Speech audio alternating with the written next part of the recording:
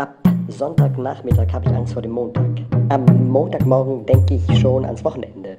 Der Dienstag liegt schon ganz bald in der Mitte. Vom Mittwoch ist es nicht mehr weit bis zum Freitag. Am Samstag sieht die Welt schon ganz anders aus. Und am Sonntag ist endlich Ruhe im Kasten. Bis dann am Nachmittag wieder die Angst vor dem Montag kommt. Und am Montag man sehnsüchtig den Dienstag erwartet. Sich am Dienstagabend schon sehr auf den Mittwoch früh freut. Und am Mittwoch um die Mittagszeit denkt man schon nicht mal an den Dienstag. Eigentlich beginnt das Wochenende schon am Donnerstag früh. Und dem Freitag, Samstag und Sonntag sollte man noch einen So-Sonntag hinzufügen.